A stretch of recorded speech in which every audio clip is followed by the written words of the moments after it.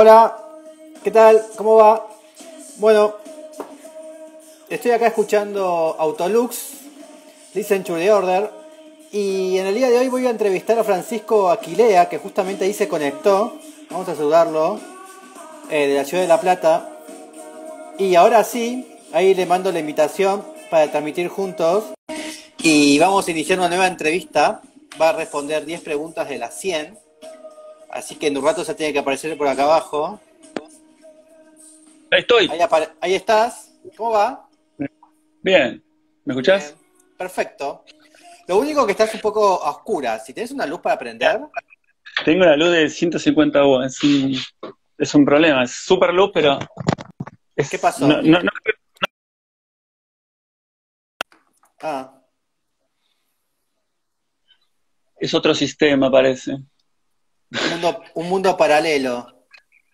Es como un mundo paralelo. Tendría que estar. eh, no, cuando, cuando hago conferencias este, en WhatsApp y en, y en Instagram, la cámara del, del celular, que es viejita y tal, todo esto, se, se ve todo más oscuro. Sacas Ah. fotos y está todo bien. Pero bueno. Bien. Ahora con una- un reflector bastante fuerte, pero bueno, en las sombras. ¿Y qué tal estuvo tu día de hoy en La Plata? Bien, terminé, terminé las clases que tenía. Este, doy clases en la facultad y bueno, acabo ¿En de la terminar. Nacional? Sí, en La Plata, la Universidad de La Plata. ¿Y tuvo todo bien? Sí, sí, sí, es complicada en general la, eh, esta nueva virtualidad. Sí. No me pasa lo mismo que está pasando con vos, este, este, porque no, no estamos usando, no, no usamos este tipo de plataformas, Sí. hay más fluidez, pero, pero sí, es, eh, es difícil saltar el límite de cierta calidez que te da eh, La presencia. relación. Sí, más que nada cuando, cuando haces de la docencia en taller, como es en la facultad, que, que hay un intercambio permanente y que, que la idea como docente es, es la participación, el ida y vuelta del otro, porque me imagino que si, si sos, tenés una materia más que es, viste, que el docente da datos, tira postas y tal cosa, y el Sí. otro recibe, anota y después responde, no creo que haya mucho problema con la virtualidad. En este caso, que hay se presupone un ida y vuelta constante de, de actividades, suele ser más complicado. Pero Mm. bueno, el año pasado hubo que improvisar y este año ya estábamos un poco más preparados. Así que bueno, ya. Y del, y del año pasado, que, que ya tuviste todo el año completo, eh, ¿cuánto crees que el alumno aprendió o no aprendió? ¿Qué porcentaje de, beneficio hubo o, qué, porcentaje de, prejuicio hubo? ¿O de inconvenientes? No, eh, mira, yo creo que esto benefició mucho a los chicos que por ahí viven lejos, que imagínate que alguien que es de, no sé, Adrogué y cursa en la Facultad de La Plata. Tiene que tomarse el tren, ir hasta Sí. Constitución, tomarse el tren, ir a La Plata, o si no tomarse un colectivo, este, puede pasar mil cosas, dos horas de ida, dos horas de vuelta. Cursar así, en cambio, estás en Adrogué, tenés internet, haces todo, hasta por ahí cursas más materias. Sí, Eh, regulás tu tiempo, por ahí trabajás y estudiás y recuperas materia, viendo finales que debías, porque ves que el tiempo te resulta posiblemente en uno platense.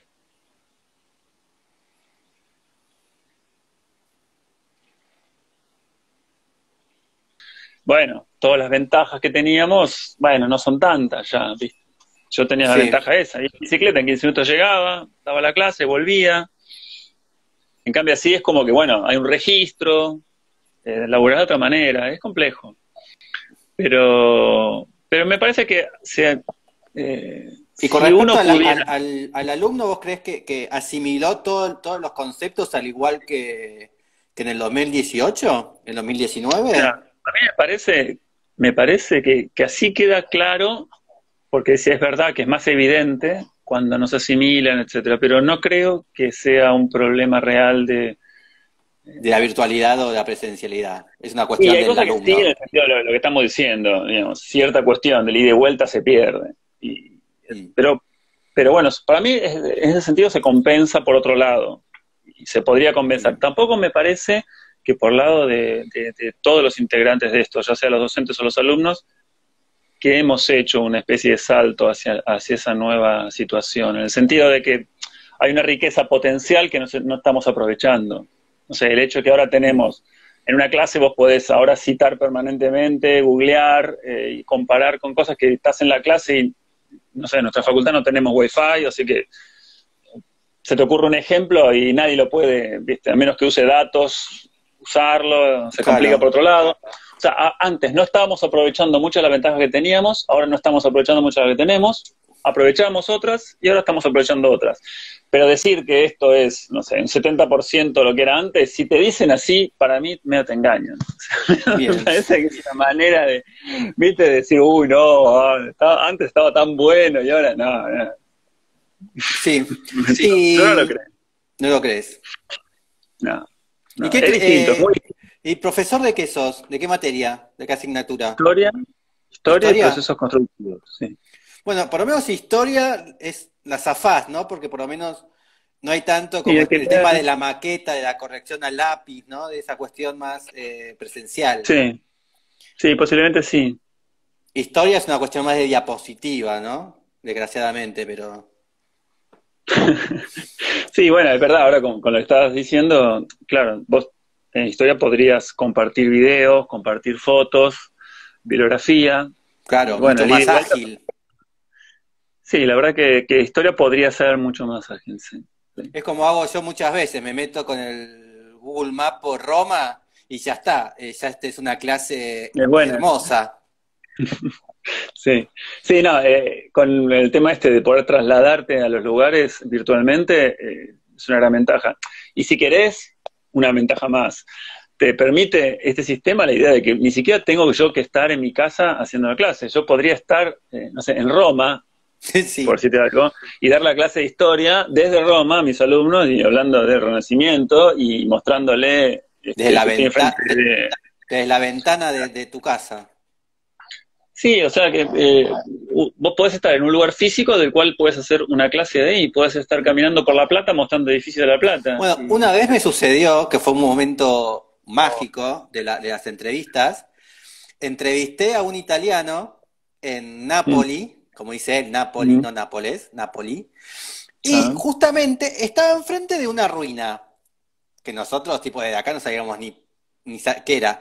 Salió al balcón y nos mostró la ruina desde el balcón una Y bueno, esas cosas son, son mágicas en, en, momentos así.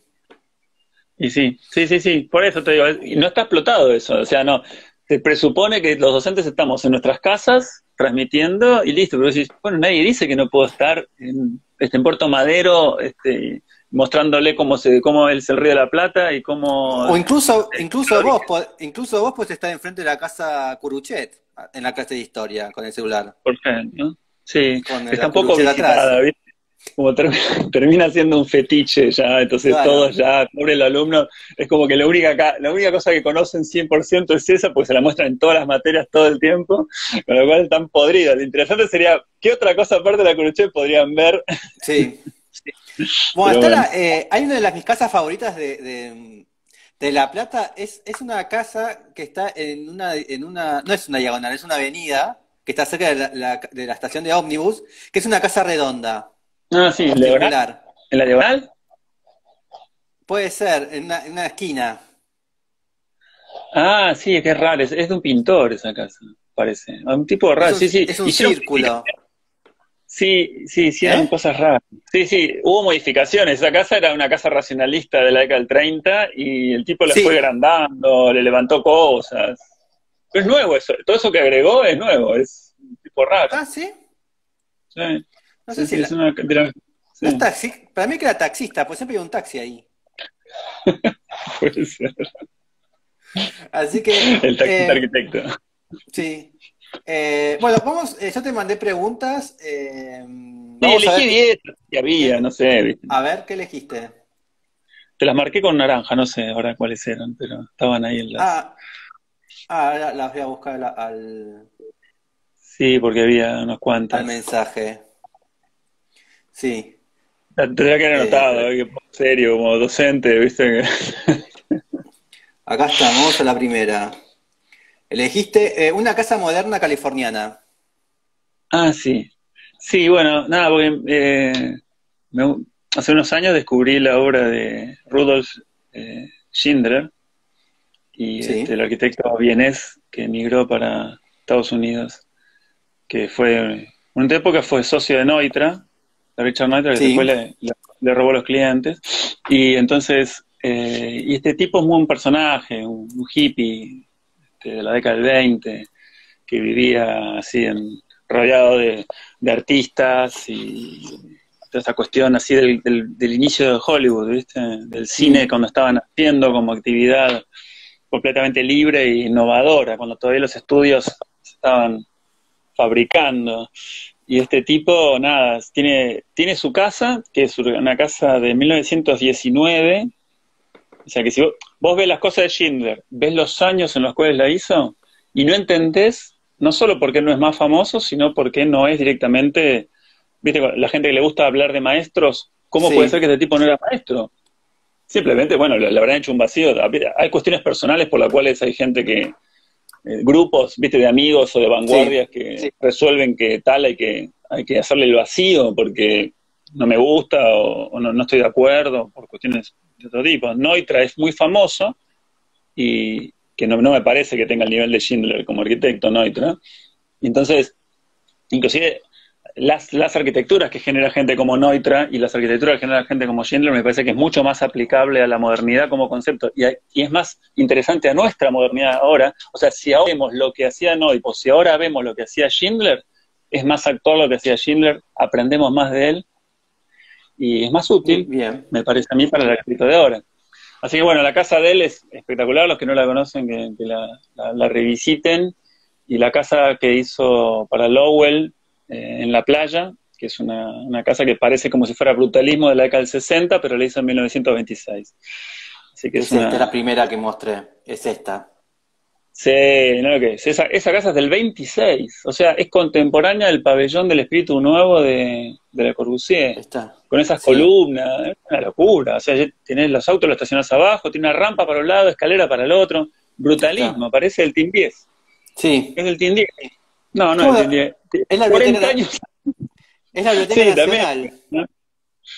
Sí, sí, porque aparte fíjate que no tiene columnas, tiene como unos, son esos elementos como si fueran, claro, pero al mismo tiempo como medio geométricos, muy del 10, muy del brutalismo, ¿viste? Como que ya no es la columna, no es el pilotí, fíjate el, otro costado. O sea, es, es, una estructura poderosa, ¿viste? Como la, al lado del mar también, como uno, imagina que hasta, hasta está pensado que si hay una marejada el agua no, no afecta a la vivienda, ¿no? seguramente es un... seguramente Testa, cuando tiene esa imagen de Campo Testa de quiero ver el mar en un, en un primer piso, también miró esto, ¿no? Supo de esto, antes de contestar eso. Es posible, posiblemente el tipo como Testa siempre estaba ah, atento a, ver el otro lado de las cosas, ¿no? Sí. Sí, esta, esta casa es, es genial. Sí, sí. Aparte, sí, hay muchas ahora zona, e, esta es en, zona color, te das cuenta ahí también el color, ¿no? Que usó, ese, ese celeste, mm. ¿no? Esa cuestión también para la época. Sí, sí, inclusive. Un color muy moderno para la época, ¿no? Sí, aparte, una cosa que usaba él, él hacía, cortaba el espacio, era lo que hacía, no, no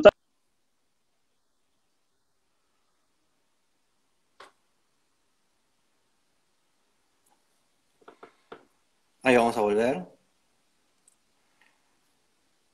No sé si se cortó a él o a mí. Vamos a poner su propia casa. Buenas. El limitado, no sé si se le fuera señal o soy yo el que no tiene señal. Hola. Hola, ahí volvimos. Hola. No sé dónde se cortó, pero bueno, nada, hablaba de los materiales, de, que el tipo usaba materiales tan baratos que también pasa que si los, los clientes no lo mantenían, las casas empezaban a decaer rápidamente porque, bueno, hay que mantener las casas baratas también. Así que eso también hizo que muchas de sus eh, viviendas fueran demolidas, donde están. tampoco ayuda que, que te ningunen permanentemente en todo, el, en todo el libro de historia, ¿no? Entonces, claro, ahí está, la, ahí está su, propia, su propia casa, la que hablabas al principio. Sí, sí, con elementos prefabricados, bueno, un grosso. Así que bueno, de California, este, esa, esa parte me parece muy piola. Sí. Bien. Bueno, también él era, era um, también colaboró con, con Frank Lloyd Wright, fue también como su alumno. Sí, bueno, de hecho fue, eso fue a visitar a él y, sus obras en California fueron porque fue a dirigir una obra que tenía Wright y ahí empezó a tener sus propias obras, entonces obviamente Wright se enojó porque como que, como que estaba aprovechando el hecho que era empleado de él para conseguir clientes, bueno, esas cosas típicas parecen. Sí. Que suceden, esta es la casa de él. Y, Neutra era el, otro empleado de Richard, ¿no? de que venía de, Austria, un poco más joven, y este y entonces lo, invitó, venite acá, no sé qué, y también empezamos a laburar juntos, pero después, nada, se y fueron... Con, con Frank, los dos, los dos trabajaban con Frank también, con ah, Frank Lloyd. Sí. Sí, pero pasa que Lloyd se fue a California. escuela. Sí, no sé, hay, algunos detalles son parecidos. Es que Wright era como el, el, que, el que estaba en la vanguardia, porque Ahí está. Antes de la que el 20 fueron ahí. ¿eh? O sea. Toda esa, esto, también, eh, esto es muy esto es muy Chicago también, ¿no? De, la, de esa época. Y sí, esas esquinas. Es muy lindo eso. 1922. No, no, locura. No, ve los años y te quedas más. vamos, aparte cada... vamos, al, sí. vamos a la próxima pregunta. Dale, ¿cuál era? Ah, te achás que decís yo. Eh, un legado de Frank Lloyd Wright. ¿Cómo? ¿Un qué, perdón? Un legado de Frank Lloyd Wright. Eh, bueno, de todo. Eh, la relación que tenía el tipo con cómo introduce el auto en la, vivienda. Me parece que fue el primero, claro, porque ah, sea en el siglo XIX, imagínate que los vehículos eran a sangre. ¿no? Sí. Caballo. Carruaje. Entonces, obviamente, no es algo muy limpio, ¿no? Tener un, caballo ahí, un animal vivo, hay que alimentarlo, hay que limpiarlo, bueno. Entonces los garajes estaban separados de la casa. Sí. Entonces, cuando aparece el auto, en las casas de raid aparece que el garage no es un elemento separado, sino que aparece ya directamente dentro de la casa. Y como parte, porque vos entrás a la casa a través del auto. O sea, vos te bajás. entonces se organiza la vivienda en función de eso. Eso en 1890. Sí. Digamos, ya, en los 90. Y después, en el comienzo del siglo XX, eh, un edificio típico para el auto es el Johnson, el laboratorio Johnson, de ladrillo del 36 que como que está pensado todo directamente como cómo, cómo hacer ceremonial el acceso para, para un auto a un, a un edificio. Después lo vas a ver que toda esa influencia lo, tienen, no sé, los casinos de Las Vegas, los hoteles, ¿viste? Esa idea de que vos entrás siempre en auto, no entrás peatonal, sino que es todo el vehículo. Y bueno, el Johnson tiene eso, que vos entrás desde la calle, eh, de la calle, digamos, urbana, a la calle interior, el estacionamiento y todo, y todo está pensado como parte, eh, embellecido, digamos. Ese recorrido está embellecido como parte. El edificio todo, con esas formas circulares, con esas columnas, todo, está en función de esa esa aerodinámica, digamos, de los autos del 30. Y este, me parece que me parece que esa, esa relación de, del auto como algo muy norteamericano, ¿no? La, idea de la masificación del auto, porque en Europa seguía siendo un objeto de lujo hasta bien entrado el siglo, la primera mitad del siglo XX. Sí. Entonces, esto de Ray de, de considerar el auto como parte integrante de la vivienda me parece uno de los legados más, eh, uno de los tantos, ¿no? Pero ese ya es uno. Claro, venía también de, esta tradición también, bueno, de Chicago, ¿no? También de Ford, ¿no? Del Ford T. Debe estar como todo en relaciones, hay que acordarse de esas épocas, ¿no? De lo que era el auto americano. Sí, sí, sí. el Ford. Y el auto masivo, el auto, el auto norteamericano que tenía que era popular. O sea, vos podías comprarlo siendo laburante, ¿no? era otra cosa. Bien. Está bueno eso, como... Porque porque hoy en día, viste que tampoco está muy... Eh, estoy pensando en las nuevas torres de acá de Buenos Aires, ¿no? Y, siempre el, auto está como medio como escondido, ¿viste? Como que es raro eso también. Es, esa, y es verdad que casi siempre cualquier edificio de la Quinta Avenida de Nueva York tiene la entrada del auto sobre, el edificio, ¿viste? Como es, esa, mm. esa entrada de honor, ¿no? Que tienen. Claro. Y nosotros acá es muy difícil que, que, los edificios tengan entrada de honor en auto. Sí, lo que queda para los hoteles, esas cosas. Igual, más allá de que uno puede después estar en contra de que, o sea, es más vivible por ir en una ciudad con menos autos que con más autos. O sea, mm. lo interesante de Wright es como el tipo se empieza a avivar de cómo, cómo reinterpretar esa cuestión de honor que por ahí ya estaba de antes del siglo XIX, pero dentro de la modernidad, digamos, cómo, cómo organizar todas esas nuevas variables que, por ahí no las ves el tema de Ray como tenía esa cosa de sobrecargar con decoración lo que hacía, viste que lo hace lo hace como más difícil de entrar, viste como dices, bueno, pero yo no sé si viviría en una casa de Ray, ¿no? Tanta cosa, tanto vitró, pero sin embargo las ideas de él, aparte un tipo que se las pasaba inventando cosas, algunas por ahí no estaban tan bien, pero, otras son absolutamente geniales. Entonces esa cosa medio mm. antiacadémica que tenía es interesante, me parece. ¿Antiacadémica? Claro, sí. Por ejemplo, la Corbusier es un académico. Ok. sí. Pero Ray no.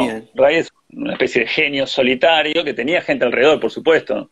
Pero eran mediocres que lo imitaban. Si no se peleaban y se iban aparte, como Jim y otros más. Claro, obvio, aprende este va, pero bueno. Y si vamos subiendo de, y si vamos subiendo de maestro, ¿no? tenemos mm. a, Neuta y a Schindler, los maestros fueron Wright, y el maestro de Wright fue Sullivan. Y, y, Sullivan es, es, un académico también? ¿O es un no académico?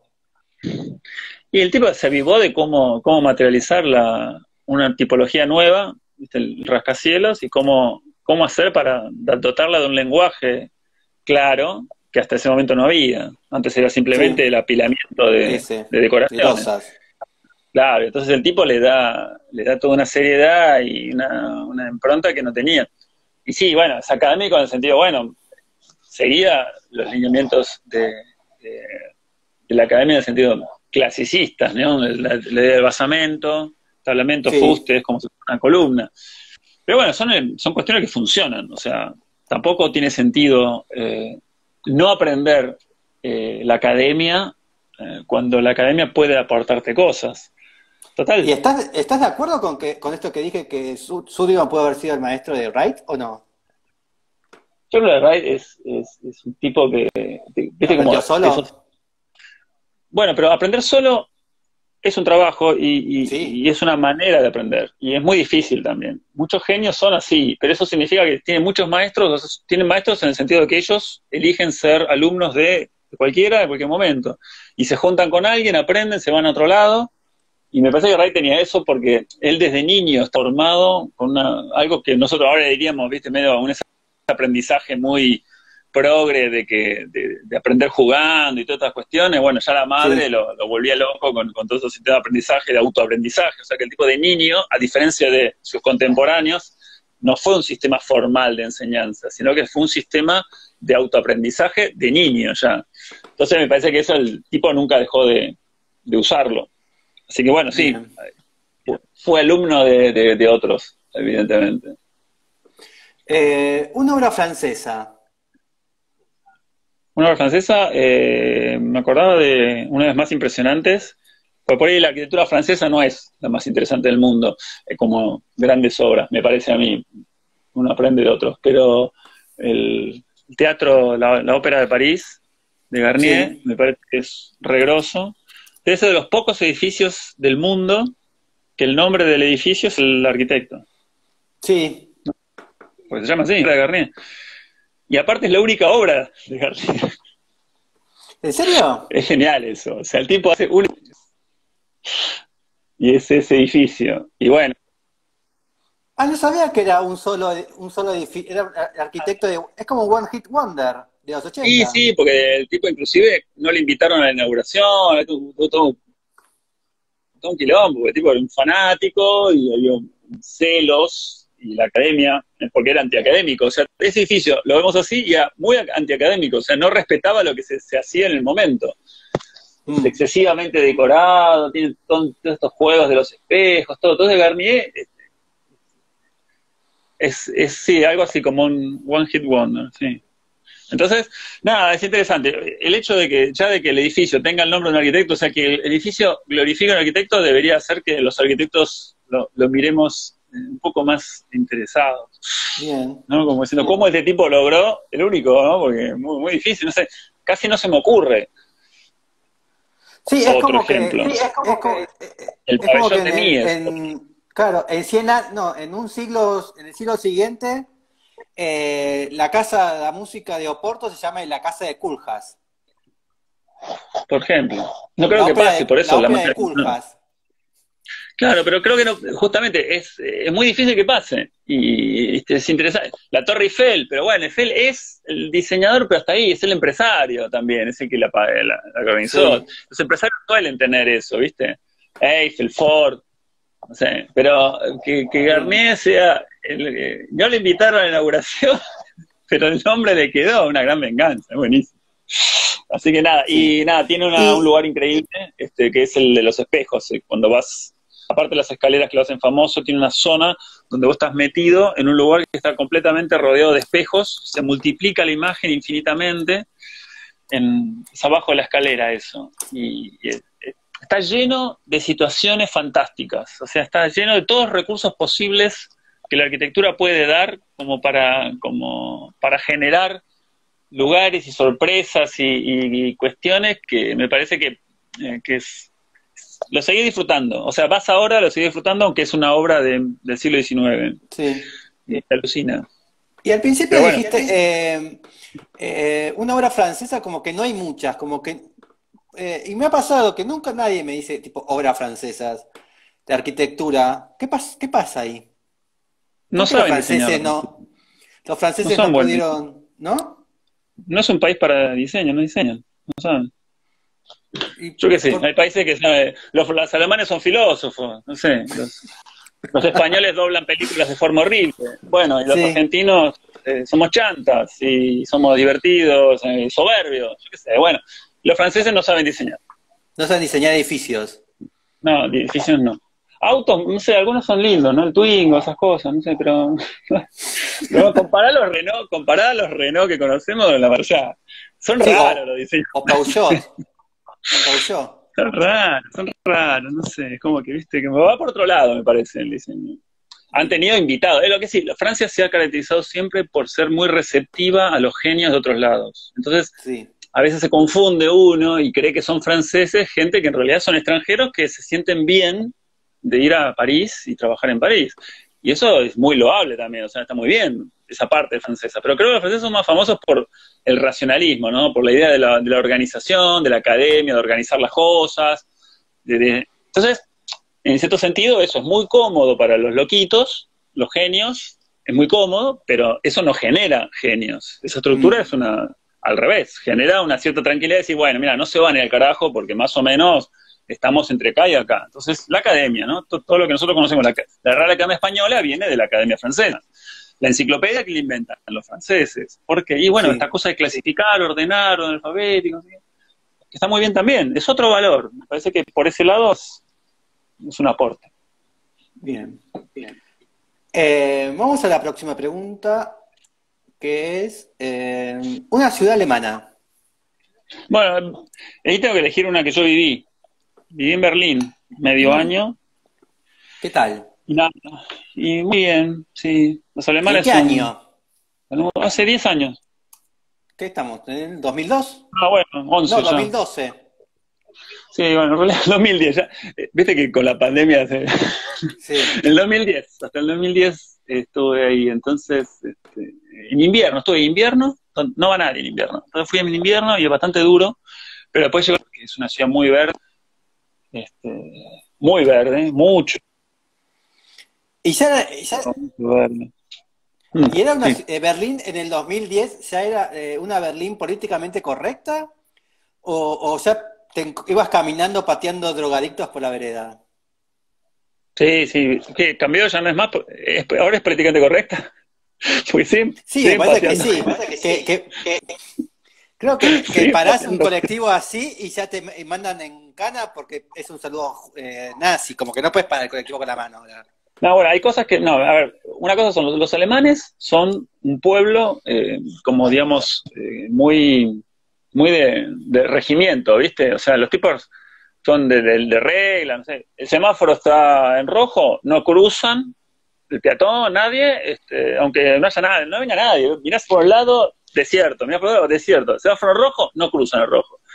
¿Viste? Y todos dicen lo mismo. Y si te mira un niño ¿Viste? Como que la idea es que si un niño te mira cruzando el rojo, va a cruzar el rojo y va a morir. Pero... Y lo decía flaco de izquierda, de derecha. Yo, pero está diciendo que el niño.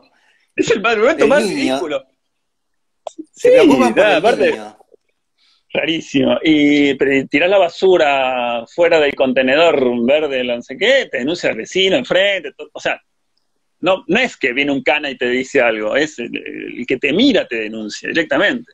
Entonces, pero claro. por otro lado, es, es, pero podés, por ejemplo, para una idea, puedes hacer un asado, eh, o sea, un asado llevando la barbacoa, ¿no? Con las patitas de metal, ¿no? No, no, no nuestros asados, imagínate esas que, patitas sí, sí. de metal, te haces un asado en un parque, en el Tiergarten, que es el parque que está enfrente de la puerta de Brandenburgo, o sea, como yo te digo, vas al parque Palermo, vas al Parque Las Heras o a la Plaza San Martín, pones una barbacoa y te haces un choripán en la parte de pasto, ¿eh? Y al lado tuyo otra familia, otra familia, todo un fin de semana, y haciendo asado con el, con el humo, recorriendo todo el parque. Y eso es perfectamente legal, con lo cual nadie te dice nada. ¿Entiendes? O sea, lo que no existe es que nadie se inventa reglas que no están. Las reglas que están, las cumplen. Eso que vos decís, levantás, haces el saludo nazi y te denuncian pero porque hay una, hay una ley escrita que lo dice. Sí, eso, es así. Se llena de, de humo, olor a, a, a, fritanga, no sé, los asados que hacen ellos. Imagínate, tampoco son grandes cocineros de asados. Y eso lo hacen los turcos, lo, que viven en Berlín, lo hacen los alemanes, todo el mundo. Es una... Bueno, o sea, tienen esa, esa cosa descontracturada también. Entonces, Mira, también está se lleno de coso, se, llen- se llevaron la canastita de la heladera ahí. Sí, sí, sí, sí.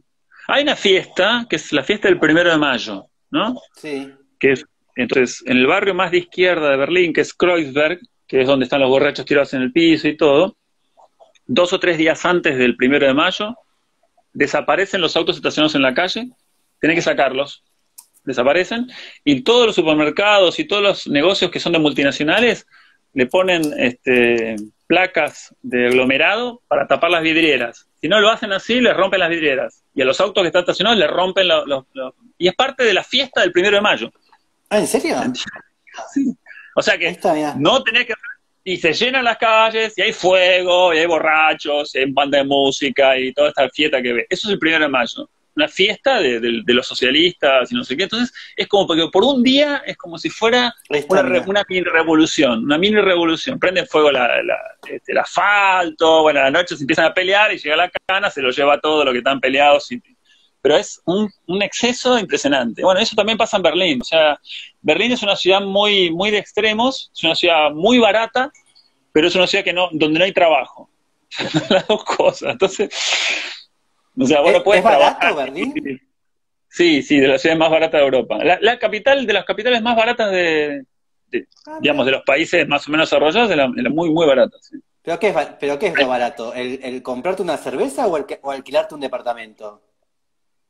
Sí, comer y todo, sí, es barato, no hay, eh, hay, digamos, no sé si comprarte un departamento, pero alquilar es la mitad que Madrid, por ejemplo, y además de mucho mejor calidad, o sea, vos podés vivir en una, una habitación, vos compartís piso en Berlín, en una habitación de 6 por 4 metros, con calefacción central, etcétera, eh, y vivís bárbaro, digamos, eh, al, mucho más barato, una, dos, tres veces más barato que lo que yo pagaba en su momento en Barcelona, que era la Barcelona de hace 12 años, 13 años, ¿no? Pero bueno, Sí. Barcelona ahora se volvió un lugar imposible por una cuota turística, pero quiero decirte que los alquileres en Berlín están estándar, mientras que eh, sale el doble, por Buen dato.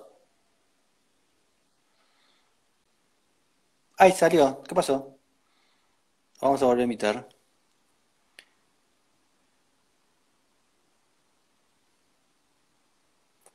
Eh, no sé qué pasó, que se fue. A ver, lo volví a... Ahí estás. Bien. Bueno, nada, es un dato, sí. O sea, lo mejor de Berlín es ir con mucha guita y no laburar porque es barato. Entonces, podés. Y, y es lo que hace. y a- ¿Y hay trabajo en Berlín? ¿Se puede trabajar fácil? No, no la trabajo son la mierda, se paga muy poco. Hay ah. muchas ayudas estatales, las universidades son gratis. Entonces, en general, lo que haces, tienen muchos jubilados, muchos jóvenes, mucha gente que vive mm, de ayudas estatales. Porque también es la idea que, bueno, que, viva gente, porque es una ciudad que, que sobra lugar. Entonces, como que tenés que hacer que viva gente, no que se vaya. Entonces, es al revés, está como subvencionado que vivas en Berlín. Mira qué bueno. ¿Y es muy difícil el alemán? ¿Cuánto tardaste en aprender alemán? ¿O, puedes vivir en Berlín sin, aprender alemán? Podés, pero también está bueno aprender alemán. Hay cursos, si vivís ahí, eh, haces un curso municipal bastante barato. No, capaz que puedes trabajar y vivir del castellano. Sí, pero ya te digo que no te pagan mucho por trabajar. Eh, lo mejor sería que trabajes en otro lugar de Alemania y con lo que ahorrado te vayas viajando por toda Alemania, porque hay otros lugares que sí te pagan mucho mejor, o sea, todo lo que sería la parte alemana que da al, Mar del Norte o, o el Rin, este, ahí sí son lugares donde se paga bien, donde se trabaja bien. Porque a mí me, habían dicho una vez que, por ejemplo, en Ámsterdam, en Países Bajos, como que podés, sí, es muy caro, pero que eh, te pagan bien y podés vivir eh, con el castellano, tipo, eh, trabajando con el castellano, ¿entendés? Tipo, no sé. Y bueno, está bien. Enseñando eh, o trabajando en lugares que necesitan gente de castellano. Hay muchos españoles que viven de eso. Sí, es como, hay gente que, que la hace bien y hay gente que por más que por ahí vas vos ahora y te dice, no, ya está, ya, ya, está completada la cosa, ahora, ahora queremos gente que baile tango. ¿Baila tango? Te dicen vos decís, no, uh, no, andate. No, pero te hablo castellano. Claro, pero bueno, no, bueno, pasa, pasa con, generalmente eso, eso que decís es más fácil de hacer en Escandinavia, que, hay muchas ayudas estatales. Ah. Entonces vos llegás y, entre que es gratis los estudios superiores en muchos de estos países y que podría, podés aportar a la sociedad de ellos cosas como esa, un idioma extranjero y tal cosa, bueno, puede ser. Amsterdam es un poco complicado porque es muy caro, entonces ya... Es muy caro vivir. Lo mejor, uf, tendrías que tener un amigo que te hospede unos meses hasta que consigas esos laburos que decís.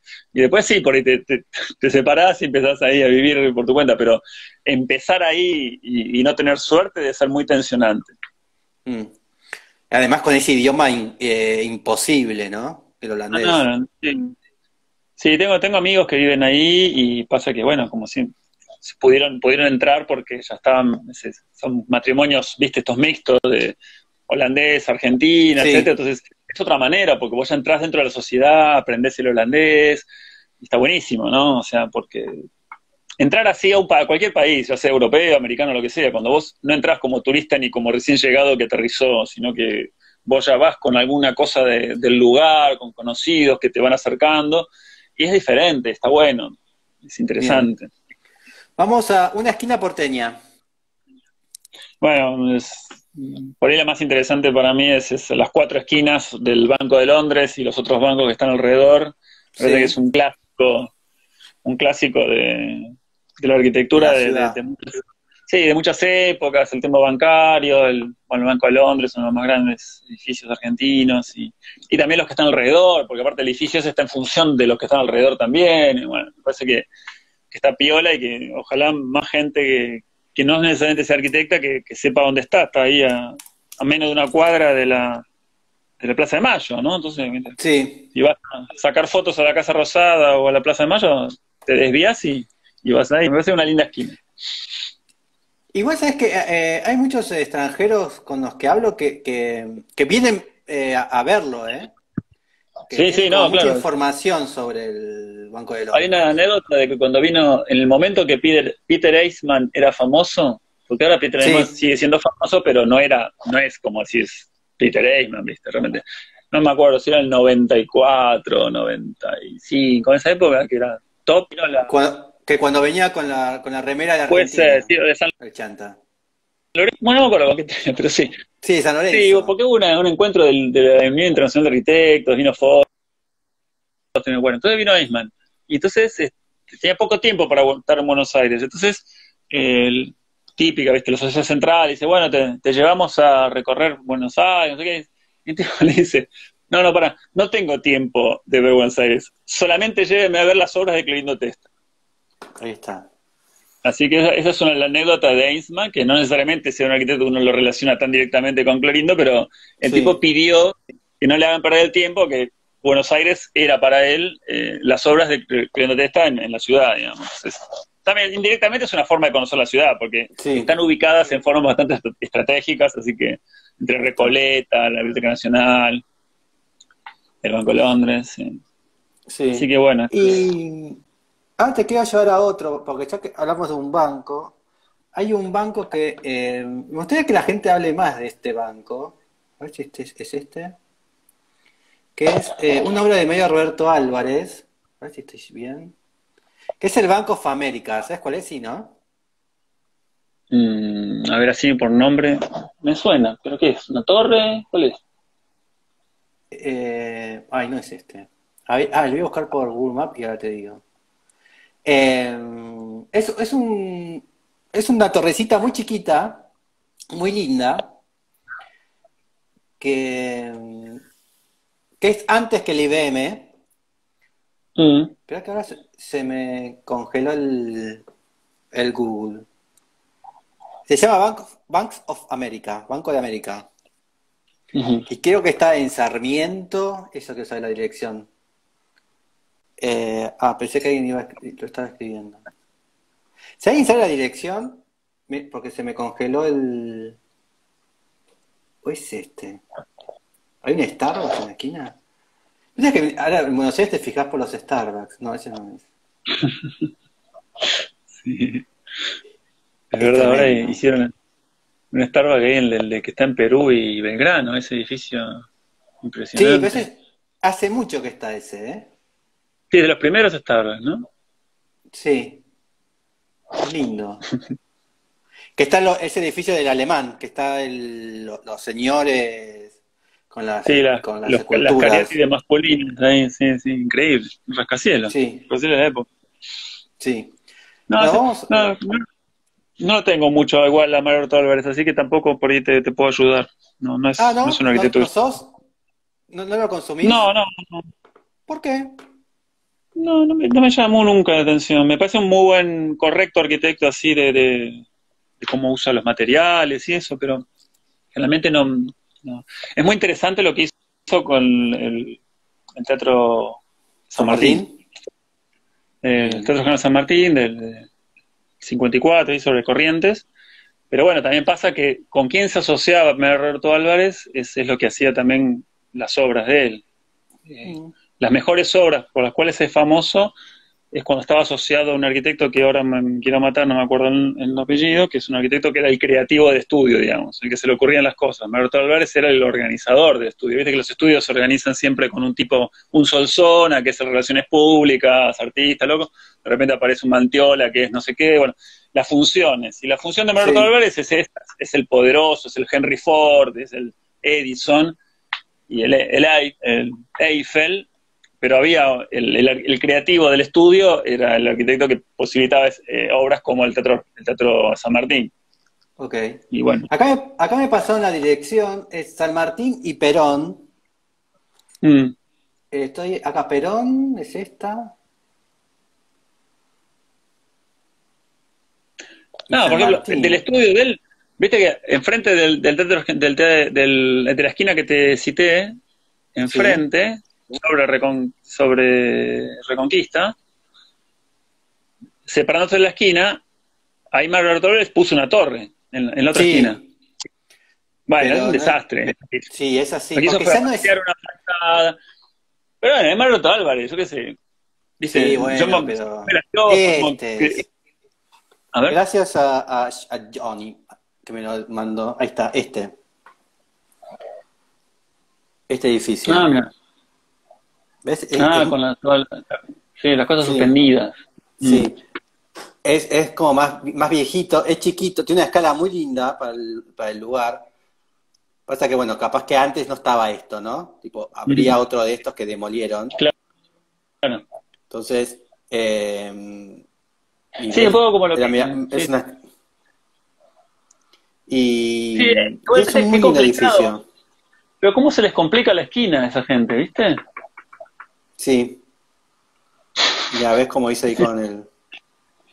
Me parece como que es una medanera, ¿viste? Le falta la. No, gira del todo. No sé qué. Esas varias cosas le pasan a los arquitectos. Es, muy este bien es el edificio espantoso que vos decís. Sí, cualquiera, porque aparte, al vaciarle la fachada, te permite visiones en ángulo que no estaban previstas en, la, en, la, en lo urbano, ¿no? Aparte de una cosa, mm.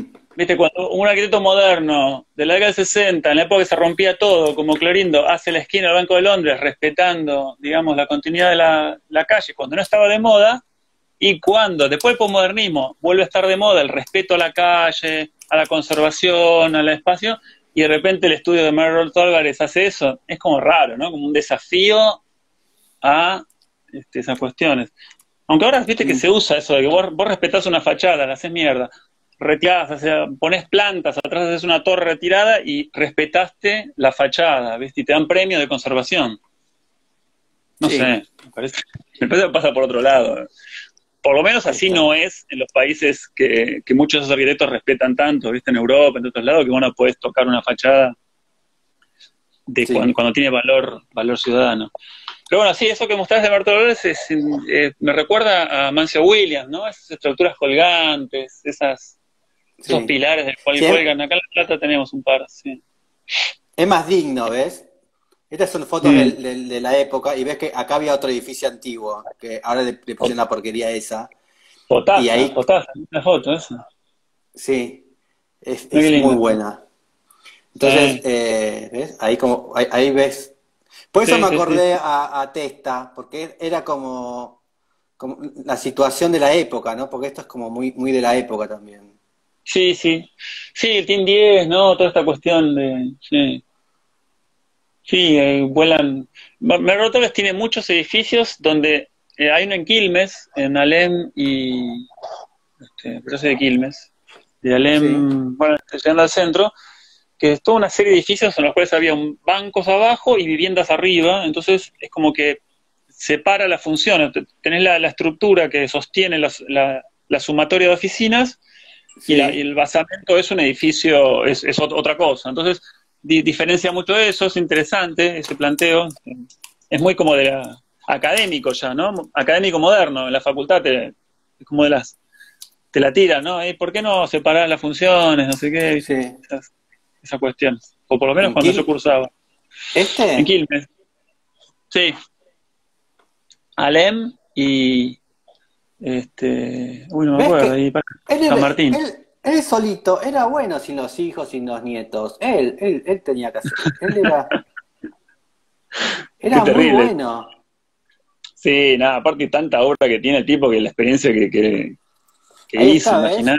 Mira las viguitas, esas vigas, esas Sí, sí, tiene unas columnas raras como cónicas que, van como unas manitos, ¿viste? Que sostienen todo el conjunto. No, tiene muchas cosas interesantes. Sí, sí. Estaba muy de moda. ¿Por qué, ¿Cuál es la moda del. Ahí está. De la separación. ¿Sabes? ¿A, qué se debía eso? ¿Qué era? ¿Como un postulado? La forma sigue la función, sería. Ahí está, claro, porque son, ahí están las manitos agarrando. Sí. Sí, sí, la, se, ve claramente las funciones diferentes. Está bien. Sí. Una especie de mecano, de, los holandeses. Sí, sí, sí. Mecano. Eh, vamos a la próxima pregunta. Ay, la borré. ¿Te acuerdas cuál es la próxima, no? No. Eh, una ciudad musulmana. Y mira, primero pensé son las, las, más lindas son las que están en Andalucía. Que, Granada.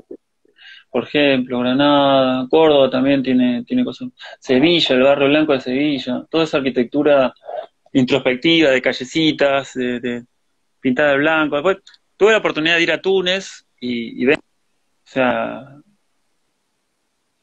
es lo mismo, África, España del otro y comparten comparten un montón de, de cuestiones. Así que, por ejemplo, sí, Granada es hermoso, ya directamente es una cosa increíble. Vale la pena. me, acaba de pasar algo divertido. Eh, hoy, hoy publiqué, hice, compartí en las historias una foto de un norteamericano, estadounidense, Y mm, ¿sabes qué? Me responden en portugués. Estoy harto de que me contesten en portugués. No soy brasilero, soy argentino. Eh, hablamos en castellano en Latinoamérica. Ah, pero por nuestro acento, ¿sí? No, porque claro, como sabe que no se piensa que soy de otra parte, de América y hablamos portugués. ¿No te pasó eso? Ahí se cortó de vuelta.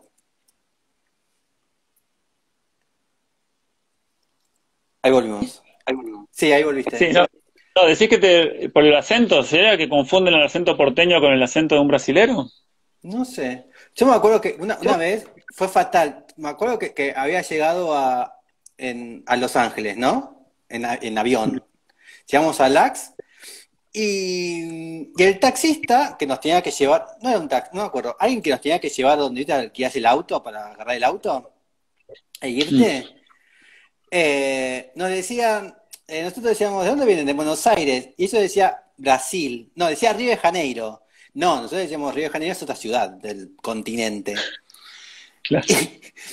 Y, y, decían, no, Buenos Aires, eh, Argentina, ok, a los dos minutos. Ah, porque Río de Janeiro. No, no, no. Buenos Aires, no, no, no, no, ingresaba el dato. Era, increíble. Pero es en Estados Unidos, ¿no? En ¿Eh? Europa no sé, no creo que no. Eso en Estados Unidos, que creo que confunden.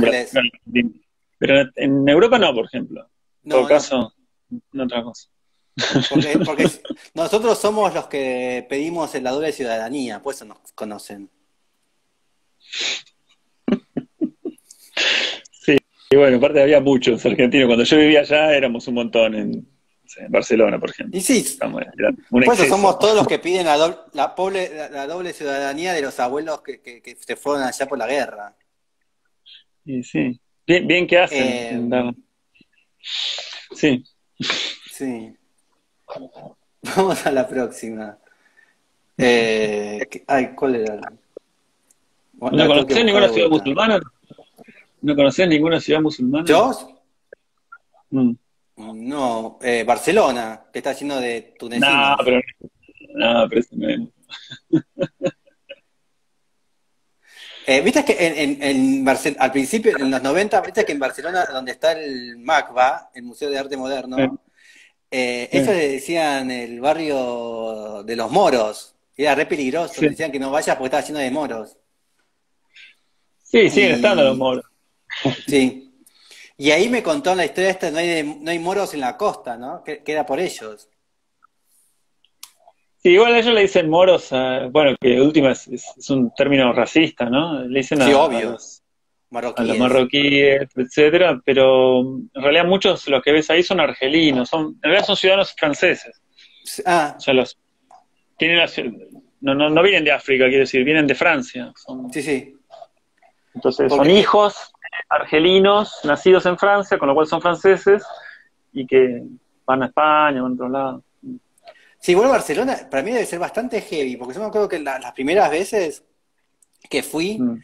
eh, colgaban de los balcones, viste, como unas sábanas blancas y escribían tipo, fuera, mm, fuera Moro, fuera Sudaca, eran como bastante jodidos. Y Europa es, y cada vez debe ser peor ahora. Yo hace tiempo que no voy, es un par de años que no voy, y par de años, tres años, cuatro, y está, eh, tiende natural, el europeo tiende naturalmente a la violencia, tiende a la incivilización, a lo salvaje, al matar al diferente, a aprovecharse del débil, es una tendencia natural que tiene, digamos, nuestra parte europea en Argentina también tiende a eso mismo, o sea, tampoco nosotros somos... Sí. No, tenemos pero esa manera de, ser tan, tan así este, es muy europea y lo raro fue los periodos históricos en los cuales había cierta idea de comunión o de cosmopolitismo en el buen, sentido, de aprender del otro. Yo viví bastante eso allá, no me puedo quejar, no, no sufrí casi directamente ningún tipo de, ese tipo de cosas que decís. Pero no debe ser lo mismo. Pasa que también Europa del, Europa del, Europa del Norte no es, no es tan... la parte jodida es la latina, me parece. Y como siempre, viste, como que si, si la gente que es parecida a uno es la que quiere más diferenciarse de uno, porque eh. no quiere que los otros lo confundan. Entonces es posible que pase por eso, tú decís. tal tipo, no sé, un español del sur eh, se siente tan diferente de un marroquí, dice, ¿cuán diferente sos? Si te ve un sueco, dice, che, no, no lo puedo diferenciar mucho ustedes. Claro. La música es la misma, la arquitectura es la misma, la, o sea, ¿cuál es la diferencia? Entonces, Sí. pasan esas cosas. O en Italia, no sé, en Sicilia, yo qué sé, pasa lo mismo. Sí. Bueno, es como dicen los, los italianos del norte, ¿no? Tipo África del Sur, África del Norte. Sí, lo que pasa es que en Italia la gente más culta es la del sur, no la del norte. La del norte son, son los que laburan. Empresarios. Ah, sí, pero quiero decirte que no, no es la parte culta. La parte, es la parte técnica, tecnificada, pero la parte Mm. sur es la culta. Las universidades humanísticas, donde se hacen traducciones, donde se publican libros, todos son en Nápoles, en Roma, en Palermo, Florencia, Sí. esos lugares. Después Milano, Torino, son lugares fríos, industria, Industriales. Claro, y aparte hay mucho racismo, porque claro, los laburantes vienen del sur, entonces la gente del lugar se da el lujo de despreciar al, al laburante, al obrero que viene a trabajar a la Fiat. Entonces el obrero cuando vuelve a Nápoles dice, ay, ustedes son los negros, porque mirá, yo vengo del norte. Y todo esa- o sea, ese círculo vicioso de racismos, pequeños racismos, ¿no? Que es el pobre que como, como estuvo sufriendo racismo en Torino, cuando vuelve a Nápoles se, se da el lujo de burlarse de que no se fue a Torino a sufrir como él. Claro. Es una cosa La venganza. Claro, digo, ah, ustedes se quedaron acá atrasados, ¿viste? le dice al tipo que estudia latín. Sí. Eh, vamos a la próxima. Un templo griego. ¿Esa elegí? ¿Está tachada con la naranja Sí. esa? bueno, sí, Sí. eh, muchos templos griegos. Ah, sí, eh, los que están en Sicilia, justamente. Este, en Selinunte, por ejemplo. Que es eh, ¿Y por qué? en Sicilia, a diferencia de Grecia, los, los templos griegos están en medio de la naturaleza. En. Selinunte, Repíteme. Selinunte es uno, el otro es Segesta. Segesta es. Pones Sicilia, templo griego, y vas a ver. Son, Sí. Están rodeados de, este, en una colina, este, el templo solo, este, y es un, un teatro griego. O sea, las, los teatros griegos están, los, teatros griegos- los templos griegos están metidos en la Está. naturaleza. En cambio, en, Grecia eh, no, no suele pasar tanto, están ¿viste, en Acrópolis y, no, la, la visión esa como de más del, de- del inglés romántico del siglo XVIII que va a conocer va a conocer las, las ruinas griegas, este, en Sicilia la ves perfectamente, son, son lugares, este, Selinunte está al lado del mar, o sea, vos tenés el mar, tenés la playita y tenés la, los templos de Selinunte ahí en la ciudad, este, y nada, Muy es una, cosa alucinante. Así que bueno, ya saben, cuando quieren ir de turismo en, en esta altura del año, en primavera, pueden ir a, a Sicilia a ver las flores alrededor de los templos griegos. Qué lástima, ¿no? Que, que- que hayan quedado así, ¿no?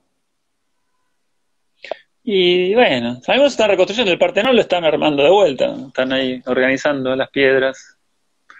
Este, De hecho, el Partenón Sí. hasta hace tres siglos se usaba, Sí. hasta que los venecianos le pusieron la, le pusieron, lo usaron como depósito de, de pólvora. Armamento, pólvora. Claro. Y lo usaban de, de iglesia de mezquita. O sea, tenía techo, tenía todo. Sí, Bueno, más importante, tenía las esculturas que se robaron los ingleses. sí. Que bueno, capaz que vuelvan. No sé, es que esas no sé si van a... Vuelven muchas cosas, pero esas me parece que... Bien. No, aparte cuando, cuando vas al museo de, de Atenas y, y está la filmación de la reinterpretación de cómo hicieron para sacar los frisos, no sé, decís, ¿cómo lo...? No puede ser, esto no puede ser legal, ¿viste? Como dicen en, en los videos, o sea, subieron, serrucharon literalmente las esculturas, tiraron al piso, ahí las agarraban, una, una cosa así.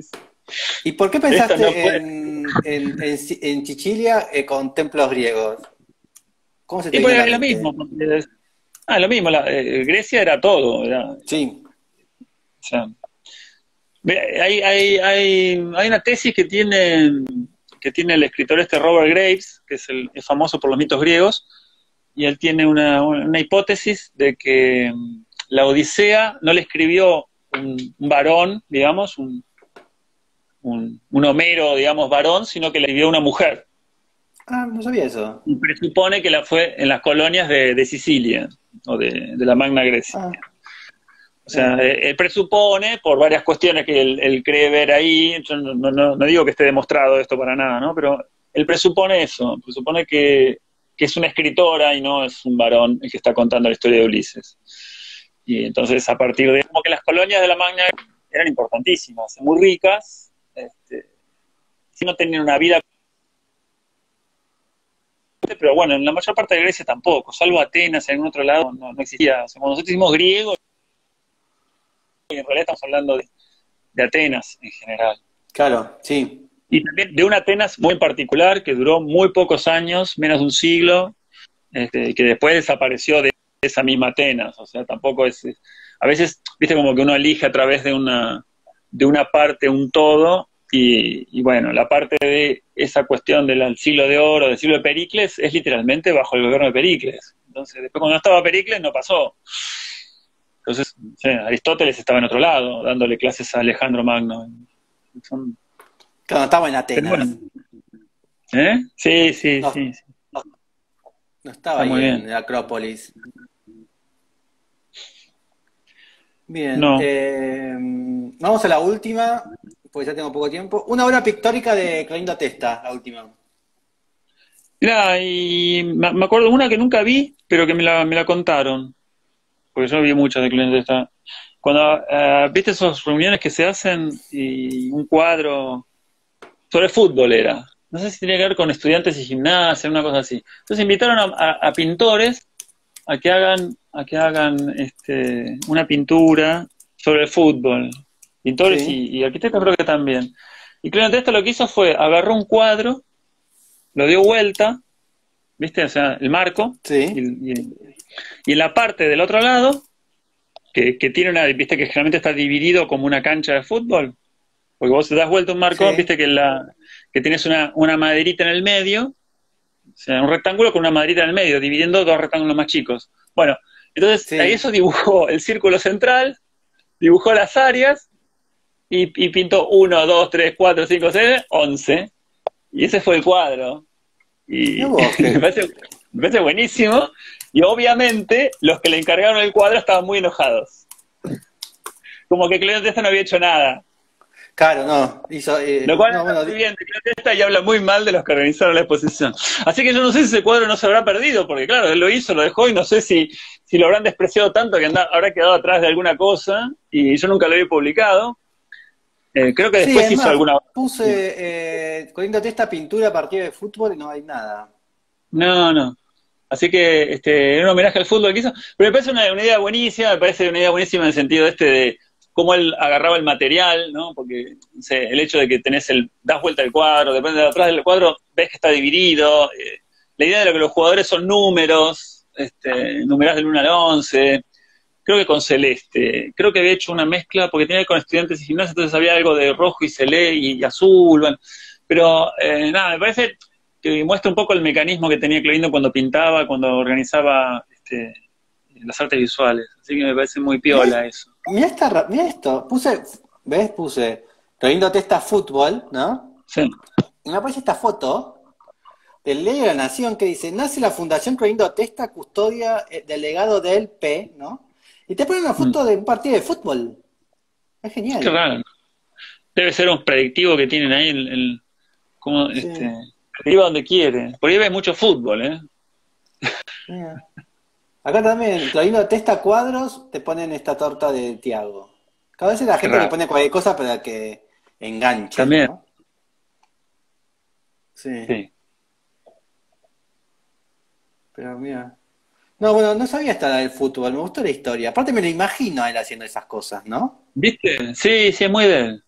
Usted me la contó, no sé si Daniel Martínez, uno de los arquitectos que estuvo haciendo el estadio de la, acá de gimnasia y, estudiantes que después no lo quisieron. Así que son esas anécdotas que te, te encontrás así cuando charlas con la gente. No está publicado. No, no. Así que bueno, eh, finalizamos y porque aparte ya es la última pregunta ya. A ver. Es decir, tenías una obra de Sisa, pero que todo el mundo ya me lo contestó mil veces. Ah, un, castillo un castillo francés me interesa. Eh, hay uno, los palacios del Loire, que bueno, son como castillos, ¿no? El, Sí. el de Chenonceau. El de Chenonceau, que es uno que es un puente. Es un, un palacio que es un puente, que cruza sobre el río. ¿Cómo se llama? ¿Chambord? No. ¿Qué me dijiste? Chen- no, no, ese no, otro. Chenonceau, Chenonceau o algo por el estilo. ¿Con C? que es un puente, pones puente, bridge,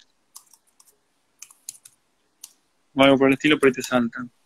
Castillo. C. No.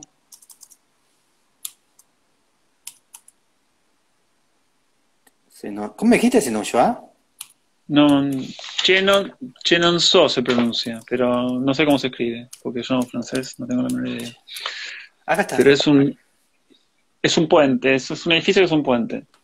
Sí, sí, este. Yo me acuerdo cuál es. Me acuerdo cuál es. Sí, buenísimo. Me parece que es increíble. O sea, el que se puso a imaginar eso, un arquitecto moderno, ¿no? O sea, Sí, la modernidad de esta cosa. O sea, ahí está. Aparte, cómo, La- cómo funcionaba, ¿viste? Claro, ahí está, ahí está, la vista aérea se ve bien. Y Eh, lo- así lo- que Amancio Williams era un chorro. Acá está la casa del puente. No, eso decía, ese, ese me acuerdo de, de chico haber ido a verlo y es alucinante. O sea, La casa del arroyo es esta. sí, sí. Sí, pasaban, eh, te daban de comer, o sea, subían la parte, la parte, lo que, las funciones, digamos, de alimentación y todo del castillo estaban hechas desde el, del, del agua. Entonces, en barco izaban, izaban la, la comida, la, estas cuestiones. Entonces vos no veías a nadie entrando, digamos, por la parte de atrás. Entraban directamente por ahí, por el lago. Así que muy piola. Tiene unos, jardines también. Los jardines que están antes son, son muy revolucionarios para la época. Los dos jardines que ves ahí, Sí. jardines del Renacimiento francés. Así que eso me parece muy piola. Los Aparte, ¿por qué hablan puesto, por qué hablan puesto en el puente, no? ¿Qué, eh, qué sería? Como un, era muy caro eh, podar los No, árboles. no, no, no, es porque era la intención. Como Menso William, que es muy caro hacer la, la base, ¿por qué hizo la, la casa del arroyo? Este... no, es así, para que sea así, justamente. Que Acá tenga esa función. No, pues está en pleno bosque también, ¿ves? Mira. Sí, sí, sí, pues esos lugares se usaban, se usaban para hacer, para cazar, ¿viste? Eran lugares de, de- la nobleza iba para ahí y su, deporte era mirá- qué importante el, el jardín, ¿no? Ese es el jardín. Sí, ese jardín es, es, es muy importante en la historia del paisajismo, además. Ah, Que ahí hacían, los franceses inventaron una cosa que es hacer, componer jardines con eh, plantas comestibles, ¿viste? Como por ejemplo remolacha, Sí, eh, repollo, esas cosas. Entonces, todos los días armaban, digamos, distintos dibujos, pero con, este, con, con plantas eh, comestibles, ¿viste? sí. Muy loco. Entonces eh, ahí lo inve- inventado con, con esos jardines que están ahí. ¿Y vos estu- estuviste acá? Sí, sí, estuve. Impresionante. Los bosques, los árboles, son, sí, son parques en realidad, ¿no? Son, no es un bosque nativo, son, necesariamente, son, No, forestación. no. están plantados. Claro, Este, pero bueno, ese es un, un lindo lugar. sí. Para ca- un lugar para casarse. Viste que ahora la gente se casa en castillos franceses. No, sí, yo hablaba esto del diseño de francés, pero en realidad este, Francia es un país realmente hermoso. Este, creo que es el país más lindo de Europa, en realidad. Mira. el paisaje, la, las ciudades, los pueblos, todo, todo tiene un nivel impresionante. Quizás en sentido del diseño como creativo por ahí no Ah. es lo que luce, pero sí justamente la idea de conservar y son muy celosos de, de conservar la belleza que tienen, digamos. Eso sí. Tal vez Johnny Depp se lo compró. Viste que Johnny Depp vive en uno de estos castillos. Ah, mira. Mm. A ver si te puedo buscar. Bueno, eh, ya te- castillo. y- sí, Johnny Depp se compró un castillo en Francia. Y además tiene mucha plata, esa gente puede hacer. Vamos a poner house. A ver. Sí, imaginas que tiene que vivir en Francia también. Sí. Ah, pero no, pero no vive en Italia. Estos Ahora vive en actores no Italia. viven. No, vive en Francia él. Ah, Ah, en su momento. Sí. Ahora, ¿viste? Parece que la novia, ¿viste que la novia mm, decía que le pegaba y todo eso, entonces ahí lo echaron de todas las, los- de todas las películas. Ahora parece que era mentira. La chica dijo que era mentira. Y, y hicieron todo eso a propósito. No, a Pablo Rago le, le pasó algo parecido. ¿A quién? Sí, A Pablo Rago. sí. Que después también, no sé qué, ya hay problemas de, de tipo en todo el tiempo. Ah, no, no, no se compró un castillo. Eh, Johnny Depp, no se compró un castillo. Se compró un pueblo. Ah, bueno, bien. Puede hacer fiestas, fiestas Ahí populares. está. Johnny Depp pone a la venta su pueblo francés. Ah, no, lo prueba y lo vende encima. Ahora lo vende. Qué inversión. Buenísimo, te lo compras roto, lo arreglas un poquito y ya lo vendés carísimo, pues ya está todo arreglado, jardín. Esa inversión. el pueblo Sé que muchos. son, son 10 casas. Claro, obvio, sí, sí, una aldea, sí. Voy a buscarlo, a ver en qué región de Francia es. ¿Dónde será, no? Hay muchas regiones lin- lindísimas en Francia. Ahí está, mira. Parece como la- el sur, ¿no? De olivos. Sí, si hay olivos, es el Mediterráneo. Sí, sí. No, es hermoso, es hermoso. No. Casi todos los lugares de Francia son hermosos, salvo el norte, lo que limita con Bélgica, que es lo más feo. El resto es hermosísimo. ¿Sí? Todo, todo. Sí, sí, todo. Sí, es- pues Alemania, por ejemplo, es un país que no es muy llamativo a nivel de paisaje en general. ¿no? España tiene zonas medio aburridas en el centro de la península, así y todo. Pero Francia es enorme, es el país más grande a nivel de superficie de Europa, sin contar a los, a los, los soviéticos, digamos, los exsoviéticos, es el más grande. Y es como dos no provincias de Buenos eso. Aires. Sí, es enorme, es como dos provincias de Buenos Aires juntas. Impresionante. Más grande que España. eh, eh, se llama, su villa es eh, su villa en Le Plan de la Tour, un pequeño pueblo a 20 kilómetros de Saint-Tropez, en el sur de Francia. Ah, bueno, en Provence, sí, en sur, claro. Ya es una zona cara originalmente, así que me imagino que no le salió tampoco tan barato. Son zonas muy... Qué bárbaro, un pueblo de Provence. Sí, ¿Cuánta plata que juntó el muchacho para comprarse? un montón. Y sí, es Johnny Depp. Bueno, ¿y mañana, mañana qué vas a hacer en La Plata? ¿Qué, qué- qué- qué hay para hacer? Sábado, pero no, no hay, no hay, este, ¿cómo se llama? Este, confinamiento. No tenemos Sí. confinamiento. Pero bueno, pero igual no vas a hacer nada. No sé, que ya me estoy acostumbrando tanto a la, a la, a la pandemia esta que, por suerte, nada, tengo la suerte de que me vacunaron, así como ¿Por docente, qué? ¿viste? Ah, Los docentes, algunos, no todos, desgraciadamente muchos compañeros todavía no, no han tenido esa suerte, sí. pero bueno, Sí. yo tuve esa suerte y entonces, ¿Pero por qué te vacunaron si sos todo virtual? ¿viste qué injusticia? Porque al comienzo no iba a ser así, al comienzo íbamos a hacer clases mix, mixtas, yo me imaginaba Ah. que iba a ser imposible, pero nos prepararon para la posibilidad de los dos sistemas. Y entonces cuando se programó la vacunación esta, iba a ser dos sistemas. Entonces parece que la Universidad de La Plata, bueno, pidió, etcétera. Y al comienzo, la Sinopharm no había sido una vacuna que, que se pudiera usar con, con gente de mayores de 60 años.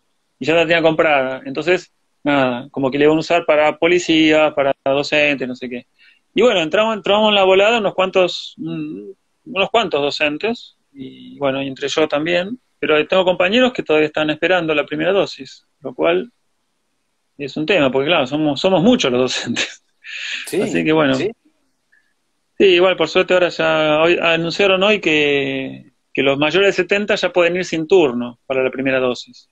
No sé si por cualquier motivo este, en la provincia de Buenos Aires no te anotaste y tenés más de 70, directamente vas directamente a un vacunatorio y te vacunan. O sea que ya, ya se está cerrando Ah, está todo bueno. esto. Sí, sí. Eso es obvio, lo anunciaron. Ah, Y bueno, la ventaja es esa, que ahora, ahora sí hay, hay tantas vacunas que por suerte ya- ahí estamos en Saint-Tropez. No, sí, es alucinante eso. Son lugares, ahí, ahí sí que es difícil ir porque te cobran todo, ¿viste? Todo caro.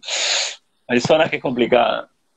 Yo soy más de un turismo, ¿viste? Gasolero, y de hacer caminando, alquilar, comprar una bici usada y usarla, andar en tren, Sí. no ir a hoteles. Entonces, el problema de esos lugares es que están muy vigilados, ¿viste? No puedes hacer cualquiera. Entonces, a veces es como que, Bueno, nos vamos con una imagen de Saint-Tropez. qué lindo. Ahí estamos. Y ahora está hermosa, ¿no? Esta época del año, imagínate, primavera. Sí. Bueno, sí, casi verano, junio, hermoso. Famosa por el cine, ¿no? Ahí, ahí creo que filmaron, sí, ahí filmaron lo de la primera película de Brigitte Bardot.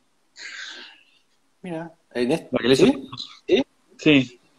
Y por eso se hizo famoso ese pueblo, por toda la, la- la vanguardia francesa. Los Ok. se llama Iban, no iban. Igual la, la playa bastante como que es de conchillas, como que No, no es te arena. lastima sí. bastante los pies. Bueno, pero es así, el Mediterráneo es un poco eso. Son playas que más vale son rocas y te tiras de las rocas, y transparente y sí, son mares fuertes, son lindos. Sí, sí. A mí me gusta eso. Sí. Haces snorkel, viste, haces, este, te vas por abajo. Súper transparente, Pues no es súper transparente. Sí. Sí, claro, porque No, no hay ser arena o tierra, También. Igual hay, zonas que sí tienen playa, viste, sí, depende de dónde. Pero por ejemplo, no sé, a ver. Claro, Mí- Míconos es famosa porque justamente tiene playas de arena blanca. Donde hay. Pero Y- no todas, y- ni siquiera. Ahí tenés, sí. Bueno, ves, ahí hay arenita. Parece. Ahí tenemos, ahí tenemos arena. Está un poco sobrevalorada la arena, me parece. Para- No, bueno, pero podés caminar, te quemás. Pero. No, pero mirás ahí en las, entre las rocas, que siempre hay un caminito, siempre hay caminitos en las, en las, en las costas estas. Caminos públicos, Sí. viste, que podés ir todo por la costa, subir, bajar, no sé qué. Siempre es una sorpresa, encontrás, encontrás nuevas calas, nuevas bahías. Oye, sí. Así que bueno, eh, muchísimas gracias y nos veremos eh, prontos, como dice el personaje. Nos vemos prontos. Creo que también lo censuraron al personaje ese. Lo sacaron de los Simpsons. ¿Por qué? ¿Vuelvas prontos? Sí, lo sacaron. Por la visión racista de... cosas. Así ¿Y que... los hindúes? Claro, el hindú en un supermercado. Pero todos los que vemos los Simpsons sabemos que él es matemático. Así que, Sí. así que es un Nos grosso. vemos prontos. Bueno, Bueno, muchísimas gracias. muchas gracias. No, gracias a vos. Hasta la próxima. Chau, chau.